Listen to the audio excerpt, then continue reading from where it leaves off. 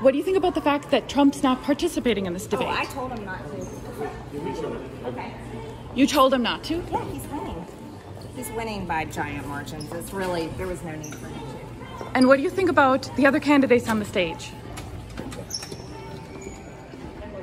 They're not going to win. They're not going to win. Okay.